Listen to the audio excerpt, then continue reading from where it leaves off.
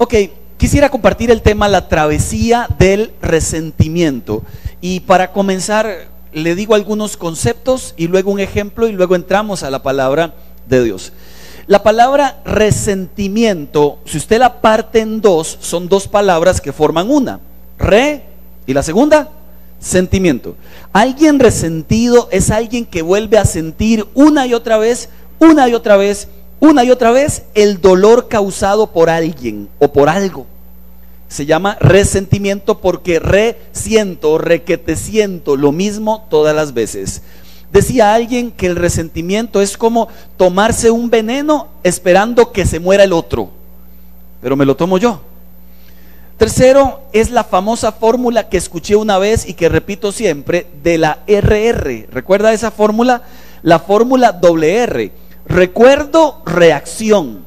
¿Cómo sé que estoy resentido? Porque cada vez que recuerdo a esa persona que me hizo daño o me la recuerdan, mi reacción siempre es negativa. Entonces digo cosas que no quiero, hago muecas que se me salen e inmediatamente con eso demuestro que tengo un resentimiento contra alguien. Y el cuarto punto es que el resentimiento más grande es hacia las personas que mayores expectativas teníamos. No es lo mismo que me falle el pulpero de la esquina que no conozco a que me falle mi papá, mi mamá, mis hermanos. No es lo mismo que me falle el señor que iba pasando al frente de la casa que me falle alguien en quien he puesto expectativas muy altas. No es lo mismo un trapecista que se cae desde 3 metros de altura que otro que se despapaya de 50 metros. La, la historia es diferente. Entonces, acorde a la emoción, acorde a lo que siento por la persona y mis expectativas por la persona, así será el tamaño del resentimiento. Yo quisiera hablar de un personaje de la Biblia que le llamo el super resentido. Hay muchos en la Biblia, sin embargo he escogido uno de todos. Es nuestro amigo Jonás. ¿Recuerda Jonás? Quisiera que busque el capítulo 1, vamos a leer todo el capítulo 1. Está, Jonás es fácil de encontrar porque está justamente después de Abdías. Entonces se encuentra Abdías y ahí a la par está Jonás.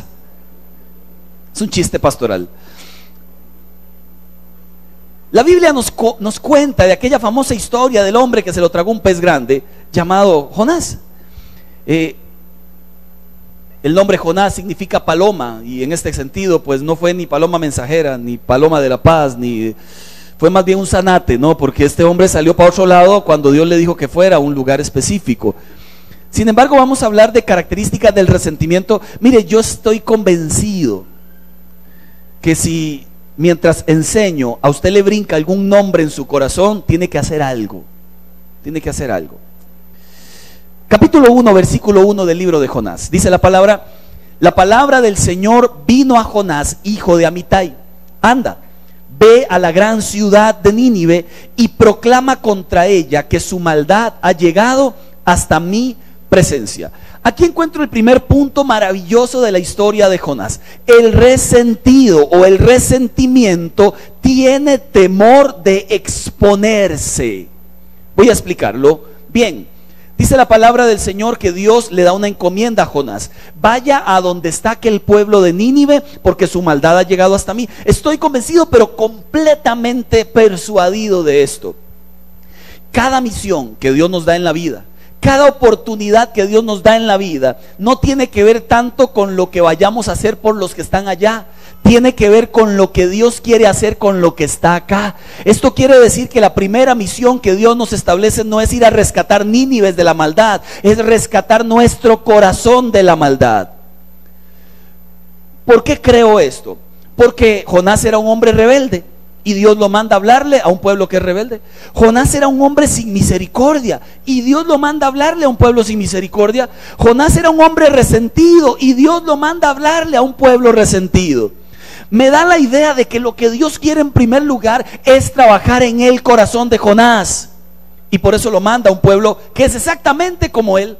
Por eso Dios nos pone a nuestro alrededor personas que son complicadas, quizás porque son como nosotros, por eso es que Dios nos pone a la par gente que son malvados como los de Nínive, porque quiere sacar la maldad de nuestro propio corazón. En primer lugar, Jesucristo lo dijo más sencillo. ¿Por qué miras la paja que está en el ojo de tu hermano y no sacas la viga primero que está en el tuyo? Personas capaces de señalar la maldad de los demás y no se dan cuenta que la maldad de los demás es pequeña en comparación con la maldad propia. Yo pregunto, ¿qué es más malo? ¿Ser malo como los de Nínive o ser desobediente como Jonás? Al final de la historia el gran hombre de Dios tenía que trabajar su corazón, pero no quería. Temía exponerse, temía creer que alguien más le podía dañar en todas sus expectativas.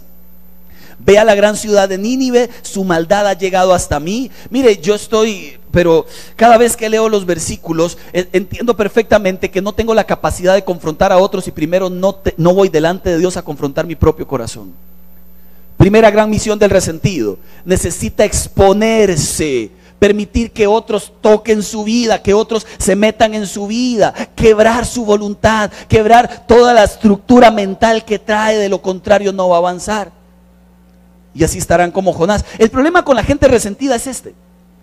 Necesitan sacar su bronca, pero como no la sacan con quien deben, la sacan con quien no deben. Y terminan pegando gritos a la esposa, al esposo, a los hijos, y la esposa y los hijos diciendo, pero ¿qué le pasa? Si no es conmigo su historia. Terminan explotando en algún lugar, y siempre con la gente que más aman. O lo digo, con la gente que más amamos. Tienen un deseo de venganza como les decía, si al otro le va mal, yo estaré feliz.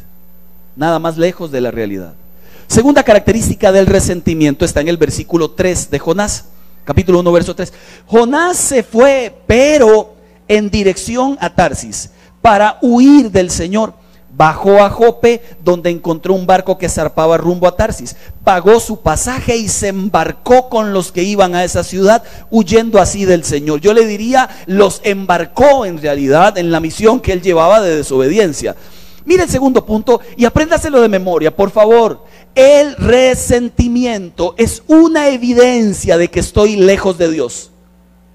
Jonás dice, voy a escapar de Dios. Mire, no se había dado cuenta que estaba a kilómetros de Dios. ¿Cómo una persona resentida puede vivir bajo los principios de Dios cuando Dios nos llama a soltar el resentimiento? Por un lado, Dios nos dice, no odie y odiamos. Dios nos dice, no mantenga pensamientos destructivos y mantenemos. Busque a la persona y pida perdón y le huimos estaba sentado en una silla, eh, no en esta iglesia, en otra iglesia, y, hay una, situación que viven dos personas de otra iglesia, y, una de las personas yo estoy frente a la sentado y se cruzaron de frente y justo donde estoy sentado al frente quedaron las dos personas cruzándose. Sé que han tenido una diferencia hace muy poco. Sin embargo, una de las personas casi que chocan de frente y una miró hacia la izquierda, la otra miró hacia la derecha y siguieron caminando. Era como si nadie estuviera al frente de ellas, de las personas estas. Era como si no existiera nadie. Literalmente el mensaje que me dieron a mí es, voy pasando por aquí, nadie viene, sigo caminando. No en este piso de esta iglesia. Y yo dije, Señor, luego, luego, luego, nos quejamos cuando lleguemos al cielo. Jackie me decía, me decía, yo no quiero comprometer mi salvación por una persona, Dios guarde. Yo le decía, ¿por qué? Me dice, sí, porque hay un versículo y está en Mateo 6:15. Aquel que no perdona a Dios tampoco a él. ¿Se imagina uno comprometiendo su salvación solo porque alguien le hizo a uno algo? Un hombre, suéltese de ese alguien y vaya tranquilo al cielo. Y usted llega al cielo, Señor, aquí vengo. Y el Señor, asuntos pendientes, unos tres. No se puede llevar asuntos pendientes al cielo, no se puede. Se arreglan aquí en la tierra. Son personas que zarpan en el barco de la desobediencia. Aclaro, no el barco del olvido de José José, pero sí en el barco de la desobediencia. La mitad no saben quién es José José, qué injusticia. Son personas que huyen del Señor, lo que les decía, viven lejos de Dios. Primera de Juan 4:20, lo leo para usted. Si alguien afirma, amo a Dios, pero tiene un rencor, un odio hacia su hermano, es un mentiroso. Pues el que no ama a su hermano, a quien ve, jamás puede dar, amar a Dios a quien no lo ve. ¿Sabe qué me, qué me gusta de estos versículos? Que Jonás paga un precio por ir a Tarsis. Tarsis quedaba el doble de distancia de Nínive. Entonces cuando veo el versículo pienso en esto. Alguien resentido es alguien que paga el precio de vivir aislado paga el precio de vivir en rencor, paga el precio de vivir amargado, paga el precio de vivir victimizado. Y ese es un precio altísimo. Cuando podemos más bien hacer lo que Dios manda sin pagar estos precios. Lo interesante es que Jonás era un profeta, un hombre de Dios, llamado por Dios, lleno de resentimiento.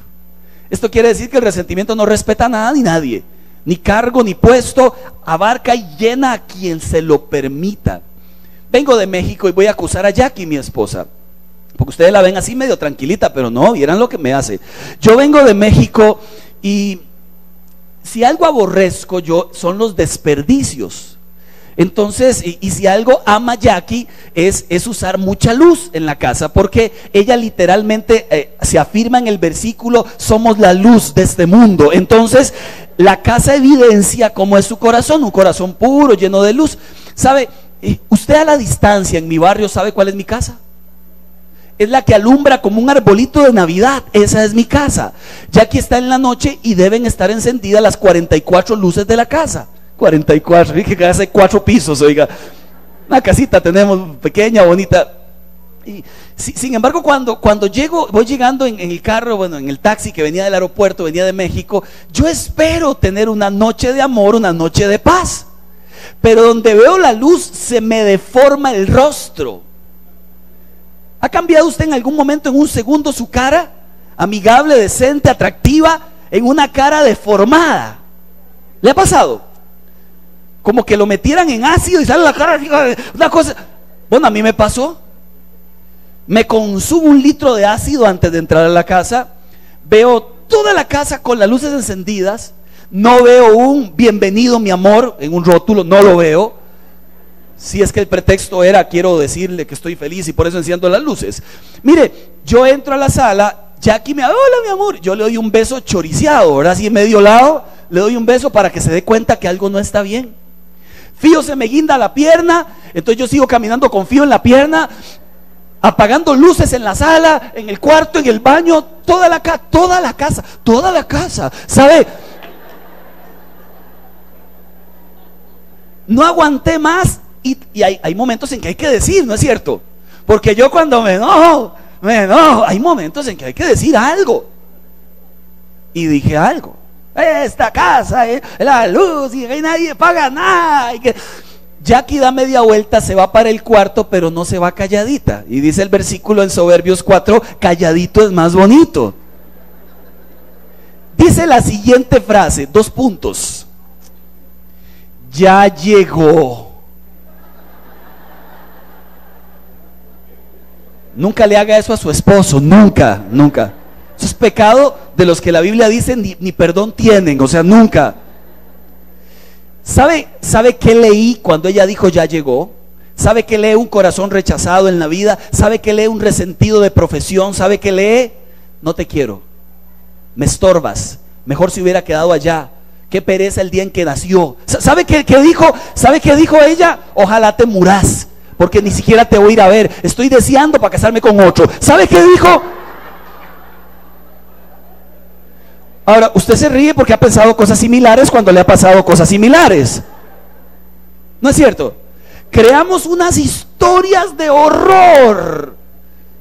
¿Y qué me dijo ella? Ya, ya llegó, sí, vine a molestar un rato ahí, es cierto, ¿no? Estaba ahí molestando, en lugar de abrazar y besar, y qué dicha, y disimuladamente apagó las luces, no, llegué, llegué con mala cara y me merecía un ya llegó, más o menos, me merecía, no le voy a dar ánimo, después me lo repite, me merecía un ya llegó, definitivamente. Pero mi vida, mi propia vida, mis fantasmas del pasado, mis rencores, hago que de cada cosa que me pasa sea un monumento a la explosión. Tercera característica, y esta es muy delicada, sígame muy de cerquita en esta, por favor. El resentimiento trae consecuencias negativas. Verso 4 de Jonás hasta el verso 12, por favor. Dice la palabra del Señor desde el verso 4 al 12. Pero el Señor, ¿quién? Lanzó sobre el mar un fuerte viento y se desencadenó una tormenta tan violenta que el barco amenazaba con hacerse pedazos. Los marineros, aterrados y a fin de aliviar la situación, comenzaron a clamar cada uno a su Dios en minúscula. y a lanzar al mar lo que había en el barco. Jonás, en cambio, que había bajado al fondo de la nave para acostarse, ahora dormía profundamente. El capitán del barco se le acerca, le dice, ¿cómo puedes estar durmiendo? Levántate, clama a tu Dios. Quizás se fije en nosotros y no perezcamos. Los marineros por su parte se dijeron unos a otros, vamos, echemos suertes para averiguar quién tiene la culpa de que nos haya venido este desastre. Así lo hicieron. Y la suerte recayó en Jonás. Entonces le preguntaron, dinos ahora. Mire, este montón de preguntas es cuando, cuando, uno se enoja con un hijo. ¿Que ¿Por qué hizo eso? ¿En qué momento? ¿Quién lo mandó? Son preguntas de susto, creo yo, porque son muchas y muy seguidas. ¿Quién tiene la culpa de que nos haya venido esto? ¿A qué te dedicas? ¿De dónde vienes? ¿Cuál es tu país? ¿A qué pueblo perteneces? Soy hebreo. Era cierto, pero la segunda parte no es cierta. Y temo al Señor no sea jetón, oiga. ¿Quién que teme al Señor hace lo contrario de lo que Él manda? ¿Quién que teme al Señor sigue cruzando la calle contra aquel que le tiene resentimiento? ¿Quién que teme al Señor sigue odiando aquellos que le han dañado? ¿Quién que lo teme hace eso? Es mentira. Perdón, Jonás, pero es mentira. Dios del cielo que hizo el mar y la tierra firme les respondió. Al oír esto los marineros se aterraron aún más y como sabían que Jonás huía del Señor, pues él mismo se los había contado, le dijeron, ¿qué es lo que has hecho? Pero el mar se iba enfureciendo más y más, así que le preguntaron, ¿qué vamos a hacer contigo para que el mar deje de azotarnos? Tómenme, lánceme al mar y el mar dejará de azotarlos, le respondió. Yo sé bien que por mi culpa se ha desatado sobre ustedes esta terrible tormenta. Ojo las consecuencias, son 10 consecuencias, todas violentas. La primera, una persona resentida atrae las tormentas de Dios a su vida y a la gente que está a la par. Repito, una persona en resentimiento, la historia no le cae solo a él, le cae a él y a los que están a la par. Es imposible no dañar al que tengo a la par si estoy resentido. Es imposible. Número dos, un resentido alimenta el ateísmo. Dice la Biblia que cada uno clamaba a su propio Dios porque no encontraban en Jonás el Dios verdadero.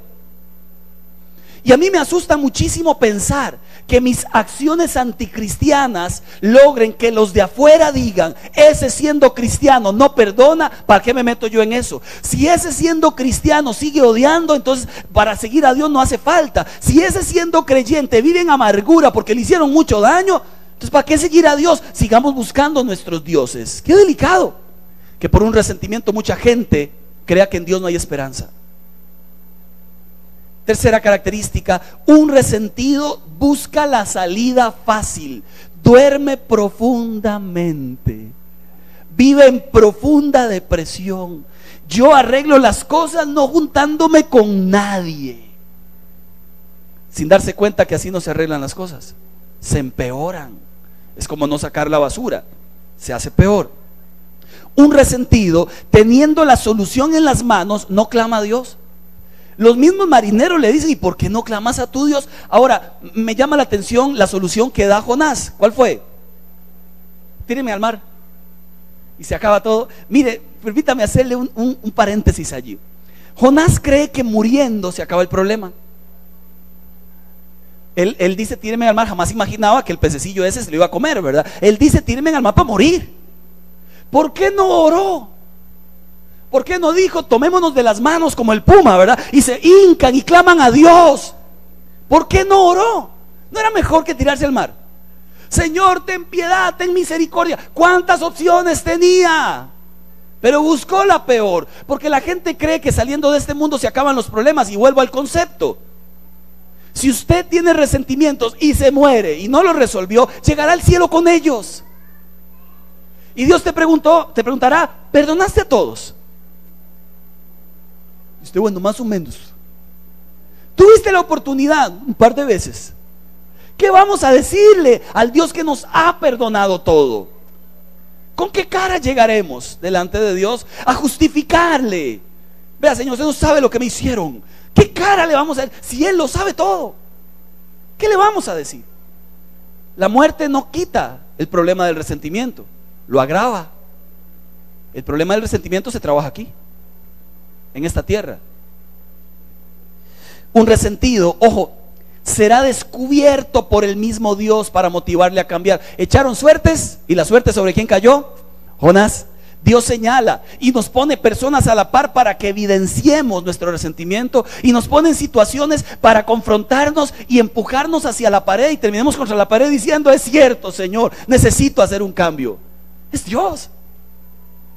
Un resentido reconoce culpa, pero no por arrepentimiento, sino por remordimiento. Porque si él se hubiera arrepentido, no se tira al agua, pide perdón. Esa es la diferencia entre Judas y Pedro. Pedro se arrepintió y lloró y su arrepentimiento lo condujo a seguir a Jesús. Judas se arrepintió, en realidad sintió remordimiento y lloró igual, pero fue y se mató. El remordimiento no produce cambio, el arrepentimiento produce un cambio dramático en la vida. Y una última en el punto 3.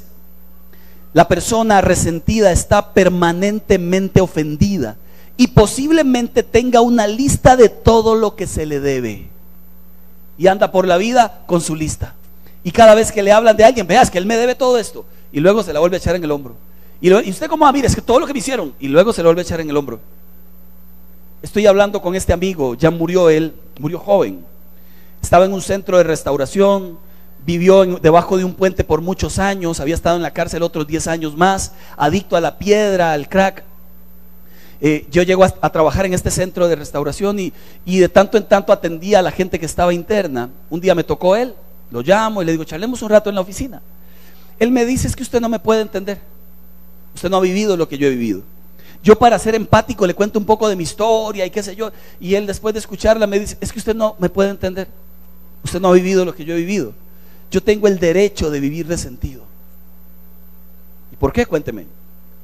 Cuando tenía ocho años de edad, mi mamá me sacó de la casa, me llevó a caminar, caminamos bastante.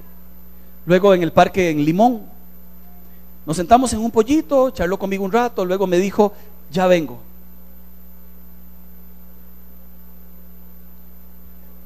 Pasaron dos días. Yo comencé a llorar la gente pasaba.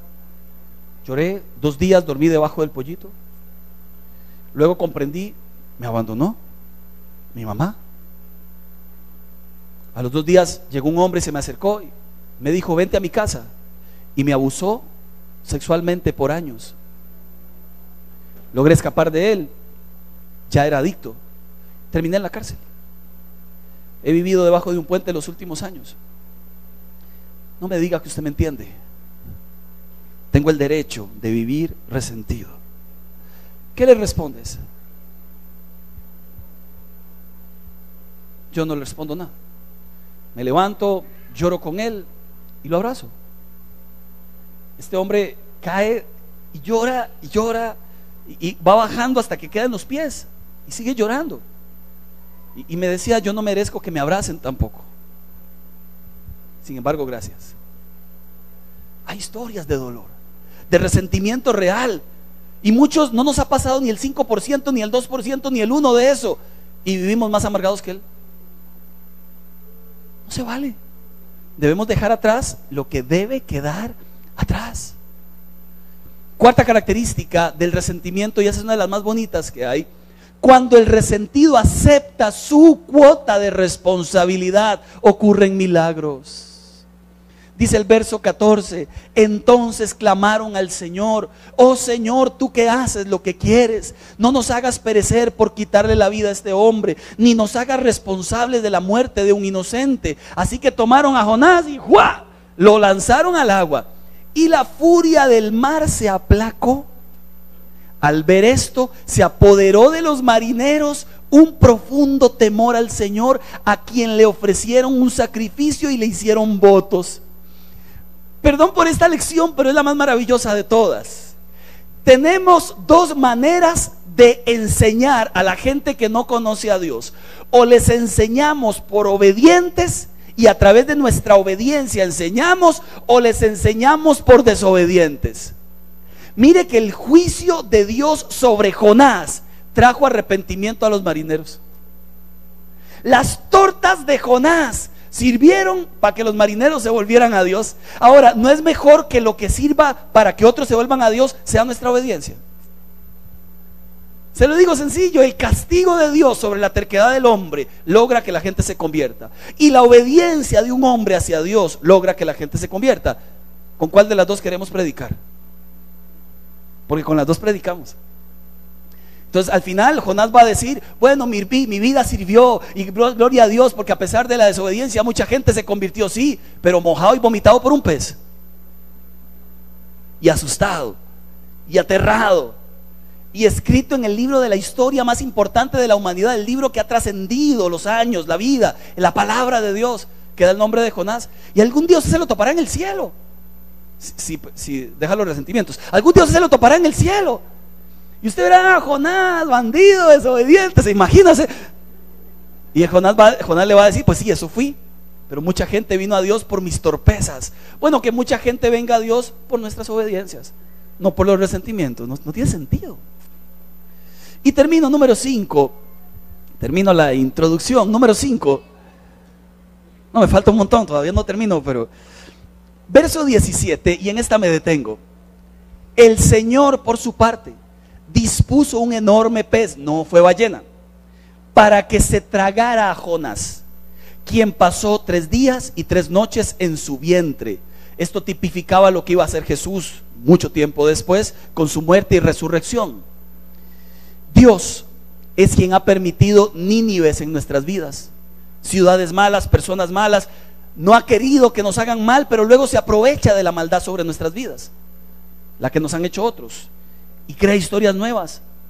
En el capítulo 2 está Jonás dentro del vientre del pez y hace una oración. Sí, Señor, me arrepiento. Cumpliré los votos que me has hecho. Dice la Biblia que entonces la ballena fue y lo vomitó.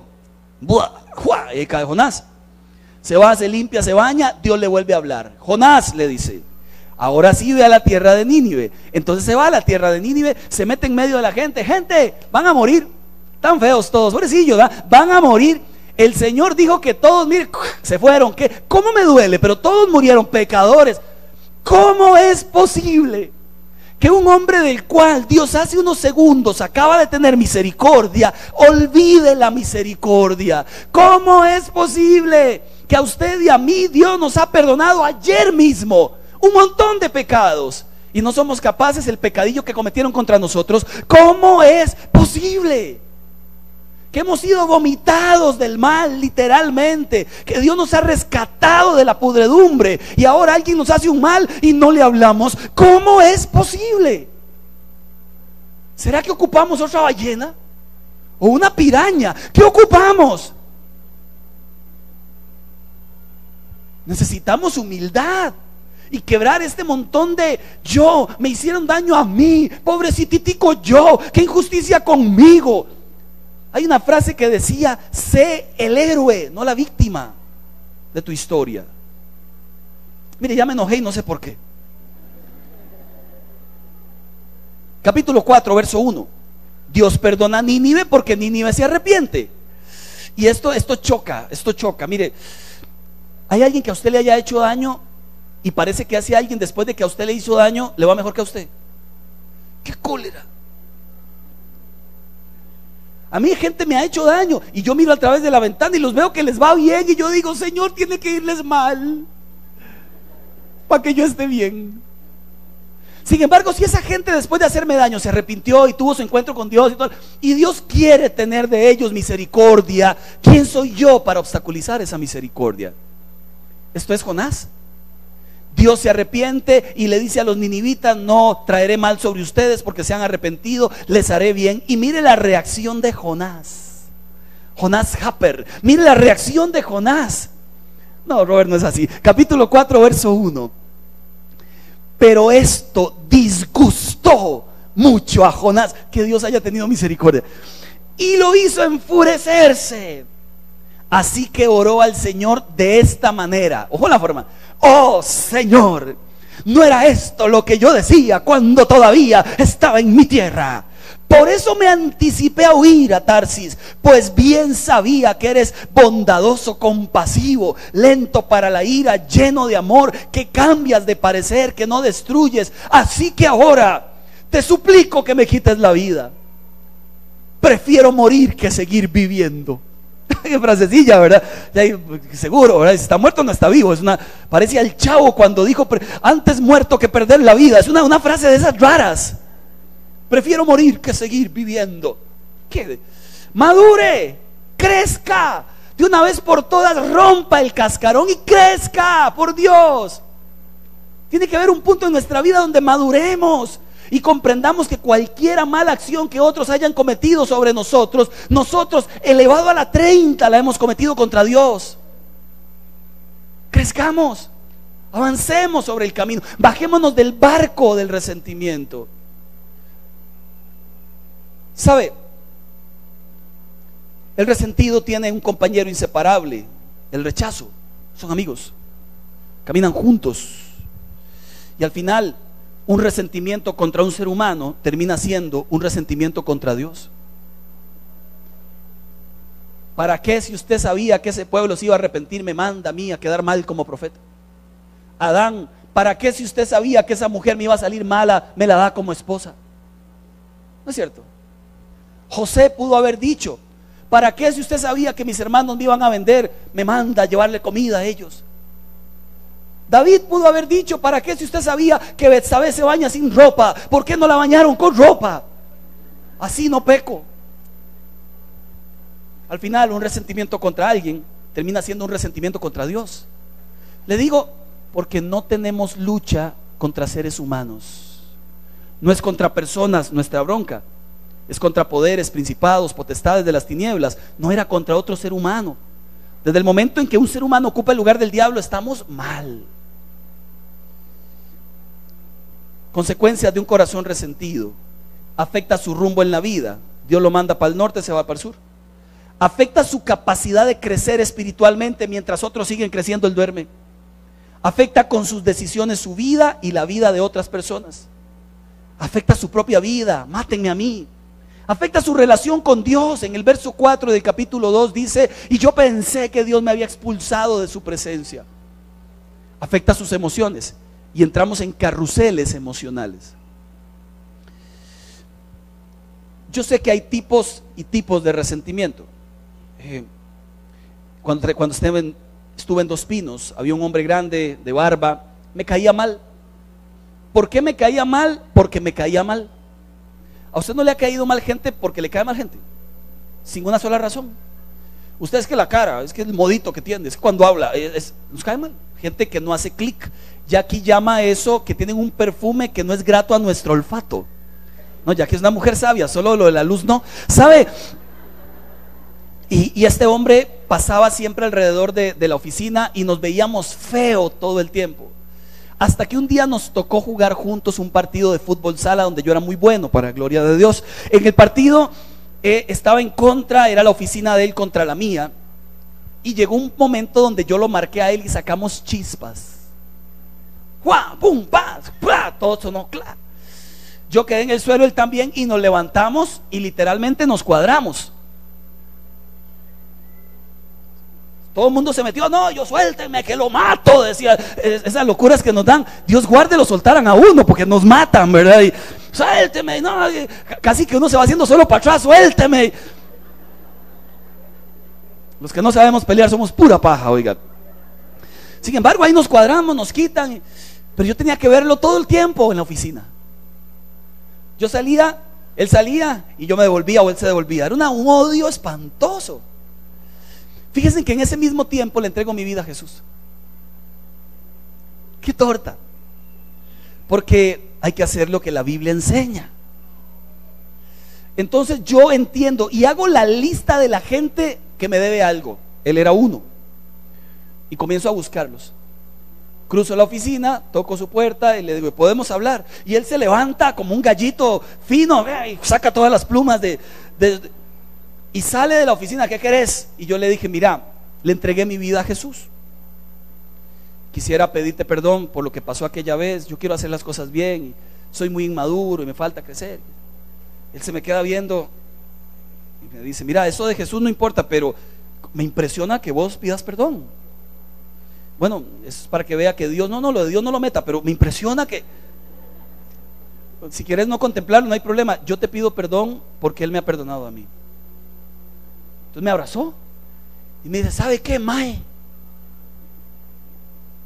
¿Qué tú andes, Mae? Es que bonito. Y yo le dije, bueno, pura vida, Mae. Entonces me fui para mi oficina. ¿Sabe? Eso es fácil. Hay, hay resentimientos que son sencillos. Le digo uno que no ha sido tan sencillo. Mi papá. Les conté que vino acá hace seis meses. Se paró por allí. Me esperó al final del culto. Yo bajé. Él, ha sido intermitente. Lo conocí a los 11, luego apareció a los 16, luego a los 27, luego a los 32 y ahora. Esa es mi relación con él. Y siempre anhelé uno, tristemente. Y yo me bajo y lo veo. ¿Cómo estás? Y, me hace la pregunta, ¿cómo te va? O más bien me dice, veo que te ha ido bien. Yo, he preparado un discurso para decírselo hace años. Pero cuando usted está adelante ya, ya el discurso no sale. No sale. Yo quisiera otro discurso. Quisiera, quisiera decirle, ahora sí. Ahora sí quiere ser papá. Sin embargo, las únicas palabras que le dije fueron, sí, me ha ido bien sin usted. Y, y, quiero que sepa que tenías que estar. Sí hizo falta, pero Dios ha suplido sus carencias. Sí hizo falta. Jackie me enseñó un video de Will Smith, cuando Will Smith, el, actor de, de, películas, trabajaba en El Príncipe del Rap. ¿Se acuerda esa serie? Eh, en, de Bel Air. En esa serie era una serie cómica, sin embargo esta escena no es cómica. El papá de Will Smith, otro padre que abandona, no está. Quedan de verse, simplemente se despide y le dice me voy. Y esta es la escena que hace él de esa ausencia de papá. Sus palabras fue, era mi discurso. Exacto, calcado. Fue mi final al final sus palabras. Sin embargo, qué momento maravilloso tuvo él para sacarse la bronca, para llorar y para decir, a pesar de lo que he vivido, Dios tiene un plan conmigo maravilloso. Quisiera aplicarlo de esa manera. Si tenemos el video, por favor. Robert, ¿me ayudas apagando las luces, por favor? Gracias.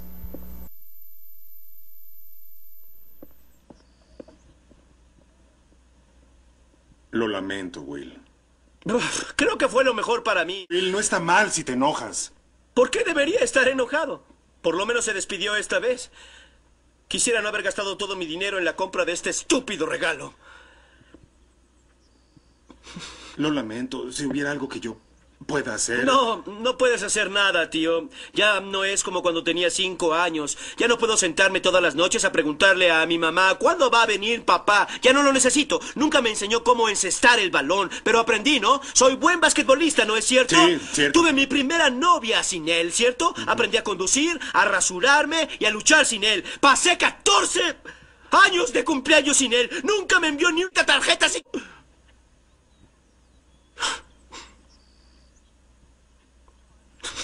No me hizo falta ni me hará. Will. ¿Sabes una cosa, tío? Pasaré la universidad sin él. Tendré un gran trabajo, me casaré con una linda chica, tendré muchos niños y seré mucho mejor padre de lo que él fue. Y te aseguro que para eso no lo necesitaré porque no hay ni una cosa que me pueda enseñar sobre el amor a los hijos.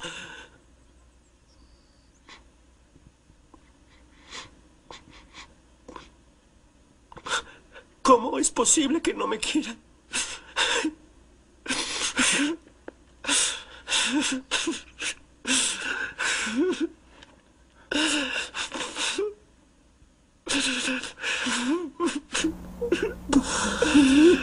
Cuando escuchaba la historia, ¿sabes una cosa?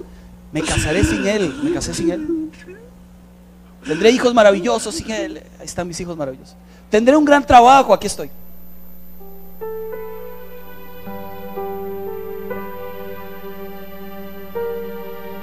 Momentos de momentos. No quisiera como gritarle a la vida el daño que me hicieron. Hay unos que no lo gritarán, lo gritarán aquí adentro. Del alma lo gritarán. Repito, soluciones, no quiero comprometer mi salvación por un resentimiento. El mayor obstáculo para cumplir el plan de Dios al final soy yo mismo. Decía la televisión, una serie, hay personas que viven en mi mente sin siquiera pagar renta. Póngase de pie, por favor.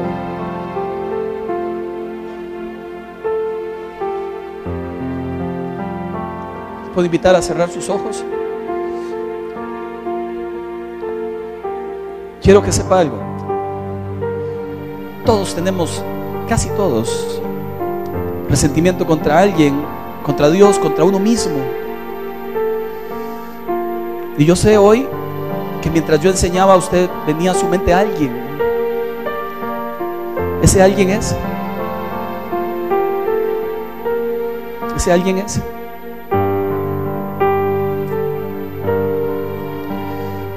Señor, hoy a la luz de tu palabra y bajo la bandera de la verdad, queremos pedir perdón. Perdón por guardar en nuestro corazón tanta historia. Sé que duele, duele. No nacimos para recibir tantos golpes en la vida y soportar. No nacimos para estar sin papá, sin mamá, sin hermanos, sin, sin familia. No nacimos para vivir solos. Pero no quiero estar montado más en este barco del dolor. Quiero estar montado más en este barco de la amargura. Yo creo que hay un camino diferente. Que hay un camino nuevo. Y hoy queremos primero dar gracias por que nos has perdonado. Y con ese mismo perdón queremos tirarlo hacia adelante y perdonar. Muchos de aquí nos sentimos dolidos con gente que también se siente dolida con nosotros. Porque cuando nos llamamos víctimas de una historia sin darnos cuenta, en algunos casos, hemos sido también victimarios. Y en muchos casos, Señor, nosotros mismos nos sentimos mal sin darnos cuenta que hemos hecho a veces más mal de aquello que sentimos. Si es con usted esta enseñanza, puede levantar su mano al cielo, cierre su puño y ahí en su puño lleve el nombre de la persona o de las personas. Lleve el nombre del que faltó, de quien se fue sin pedir permiso. Lleve el nombre de aquel o aquella que, que tenía que estar y falló. Señor, en el nombre de Jesús, en estos puños cerrados, presentamos ante ti la historia que sabes. Quisiéramos gritar como este actor. Quisiéramos decir a los cuatro vientos, sí me dolió el alma. No tenían por qué golpearme, no tenían por qué dañarme. Tenía que estar allí. Pero hoy quiero poner esto en tu mano, Señor. Porque la mía es muy pequeña para cargarlo. Porque la mía no puede cargarlo, Señor. En el nombre de Jesús, le pongo nombre a la historia. Te pido que me ayudes, Señor. Vamos a cantarle esta canción a Dios y mientras la cantamos, damos gracias por lo que Él hace y gracias por lo que está haciendo en nuestras vidas. Me has tomado en tus brazos y me has dado salvación. De tu amor has derramado en mi corazón. No sabré agradecerte lo que has hecho por mí. Solo puedo darte ahora mi canción. ¿Podrías, por favor, levantar tus dos manos al cielo y le decimos al Señor juntos? Yo te doy gracias. Gracias, Señor. Gracias, mi Señor Jesús.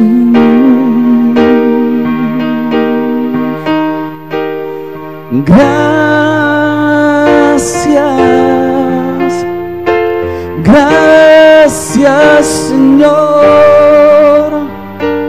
Gracias, mi Señor Jesús. Gracias por tu perdón. Gracias porque has tenido de mí misericordia y dame la fuerza, la sabiduría para dejar atrás lo que deba dejar atrás, para enfocarme en lo que sigue y aceptar lo que no tuve, Señor. Dame la sabiduría del cielo para avanzar en la vida y que esto no me obstaculice mi camino. Quiero llegar libre delante de ti, Señor. Ya lo que me hicieron o dejaron de hacer, ya no puedo hacer nada con eso. Pero sí puedo con lo que sigue en mi vida. En el nombre de Jesús, acepto bajarme de este barco y, y hacer tu voluntad, Señor. Enséñame el camino. Podría, por favor, si lo tiene a bien, orar por quien tiene a la par. Tal vez ni orar, solamente abrazarle allí. Quédese un segundo allí nomás y deje que el amor de Dios fluya en su vida, que, que esta presencia de Dios que está acá le abrace y supla lo que ha faltado. Permita que Dios sea quien sacie, quien llene, devuelva la vida otra vez de lo que se había quedado sin vida. que a través de sus manos el Señor pueda restaurar la historia de la vida. Señor, guarda a este hermano, a esta hermana en completa paz. Que tu gracia le cubra, que tu favor le llene. Que seas tu marido a la mujer sola, padre al hijo abandonado, amigo al que vive en soledad. Que seas tú cariño y comprensión al incomprendido. Que seas tu perdón y amor al que carece de él. Que seas tu esperanza, Señor, a la tierra seca y árida. Que sea tu palabra viva y fuego que transforme nuestras vidas.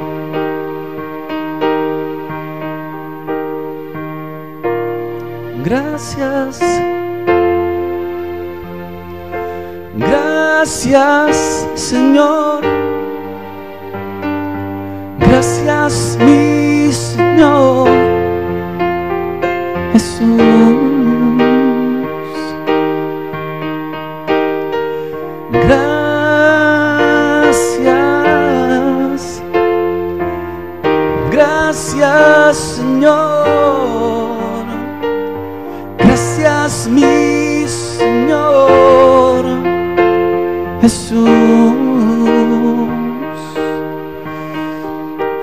Esta mañana dándote gracias a ti y con el compromiso de hacer lo que tengamos que hacer.